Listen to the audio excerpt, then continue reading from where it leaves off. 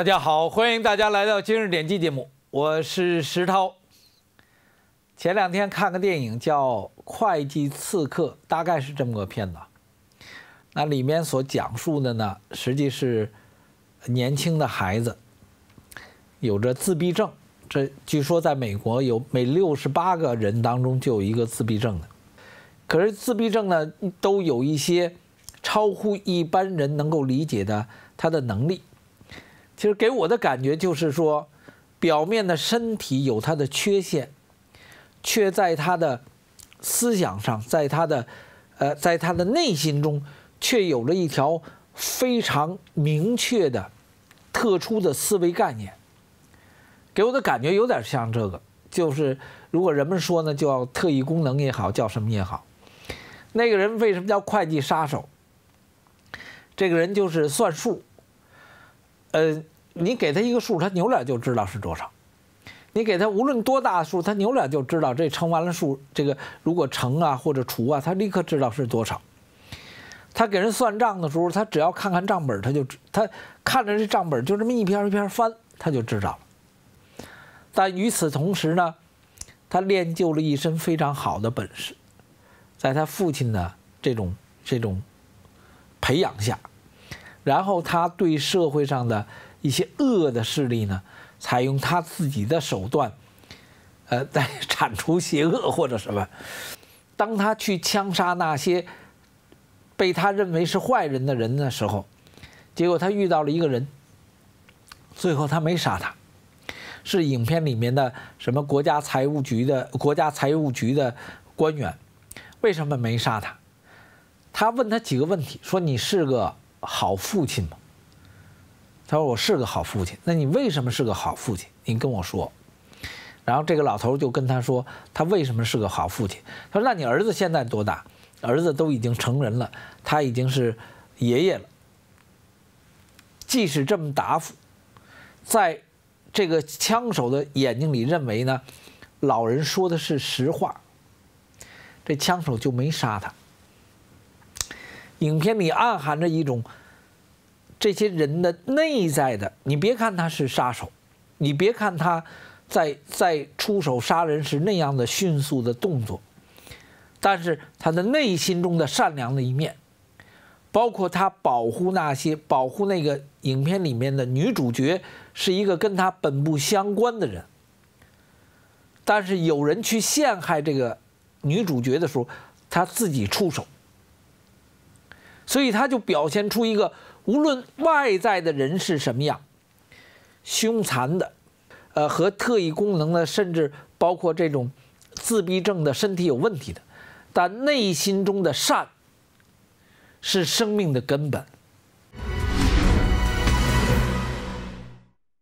那现实环境就是现实环境，在中共的邪恶当中的一个最关键的占据人的所谓灵魂的说法就是。爱国主义，对吧？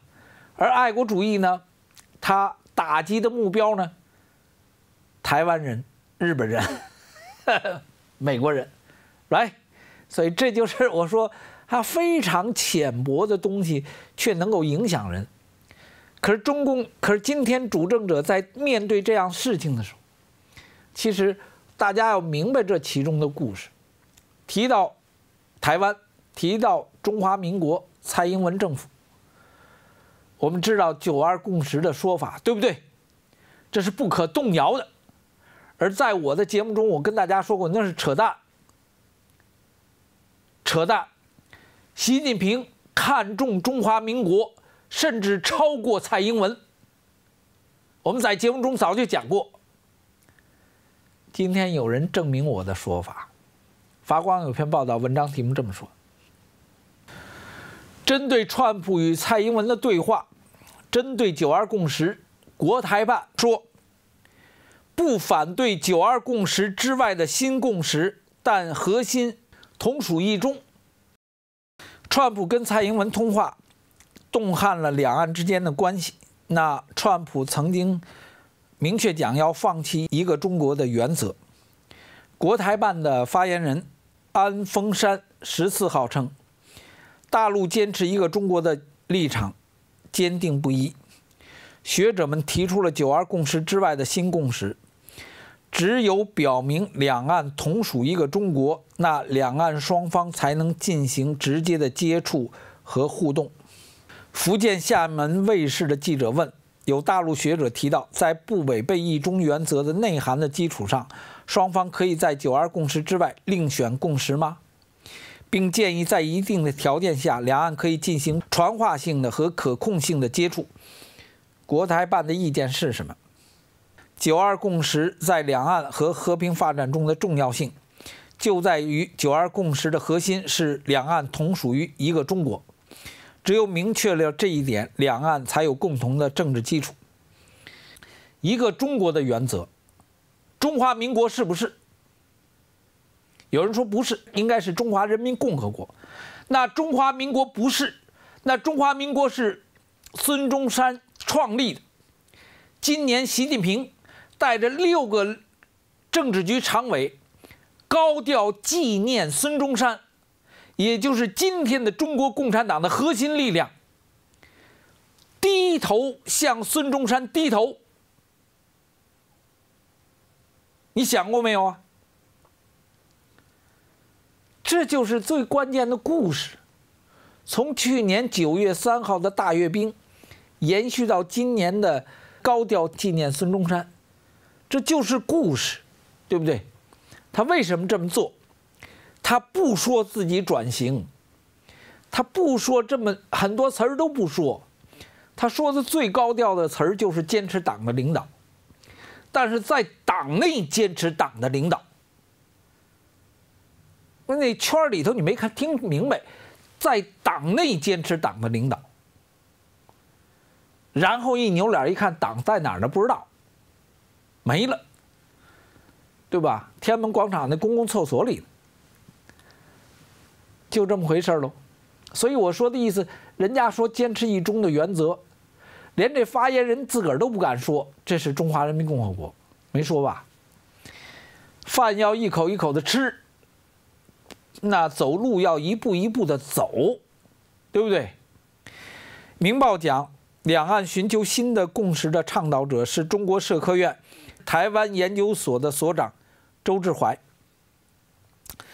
周志怀在三十号，十一月三十号，在一次论坛会上提到说，台湾迟迟不肯承认九二共识，那在不反对九二共识之外，建立具有创造性的代替性的共识，这就这么回事儿了，对吧？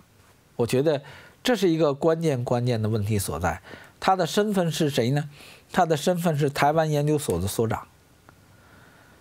那你是不是他是受人之托才说这番话呢？天下的事儿不过如此。德国之声面对川普质疑一中北京的可能的选项，所以这事儿是个大事儿，老有人替他着急哈。法兰克福汇报。在他的政治版上提到一个川普主义，那一篇文章，他说台湾在世界上已经够难了，他现在比任何时候都需要朋友。那川普帮倒忙，当然，一个以美国优先为准的人，并不会在意是否帮别人的忙。所以，德德国的媒体是对川普不太愿意接受了，这是肯定的。随着这样的描述，接着说，中国对川普言论的反应，对一个。不再习惯于听异声音的政府来讲，是个很典型的。他如果北京冷静一点的话，就可以抓住这个机会，以理性的角度示人，从容的让川普主义新的含义不攻自破。可是泰然处之的不是北京领导人的风格，那北京和华盛顿之间的唇枪舌剑呢，可能会变成现实的政治意义。那世界将会带来新的动荡。刚才国台办说了，按照他的说法，你新的动荡就不存在。学者就是学者了。柏林报说，川普质疑一个中国的政策，知道自己在说什么吗？答案是肯定的，但他可能非常不清不清楚此举带来的后果，那会让中国很不舒服。没有啊，国台办自己舒服了。我一再跟大家讲，川普是老炮习近平是老炮那这个这个王岐山也是老炮老炮儿的特点就是面对任何规矩，都有他自己的理解和用自己的方法对待规矩。他不是从正式学校里吹拧出来的团支部书记，他不是正式党校中给训练出来的高级动物。他要做他自己。川普这么做，习近平也这么做，对吧？九二共识一直在嚷嚷，但里面一扭脸说，我们要的是一中的原则就行了。谁比谁横啊？谁跟谁玩啊？对不对？今天不，今天在相当程度上，现实社会发生的一切，是真实的生命的表达，而不是学府学派们的学者们的眼睛里、嘴巴里和头脑里被灌进去的观念的表现。相反，是被打碎的。那好，这期节目就到这里，谢谢大家，再见。